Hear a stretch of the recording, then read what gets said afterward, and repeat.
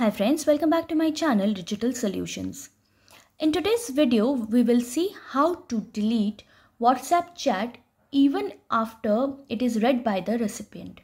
So let's see how it works. First, I will send one message from this mobile to this one. So let's send hi message to this one. Okay, as you can see that it is appearing on the screen and uh, the recipient has already read this. Okay now I uh, want to delete this one. So just you select the message which you want to delete. Go to delete option. Here uh, you have to select delete for everyone. You just delete this. Okay, now as you can see that uh, once it is read then also this can be deleted. So in this manner you can uh, delete the messages at any point of time. And if you find this video useful, please share with your friends and family members.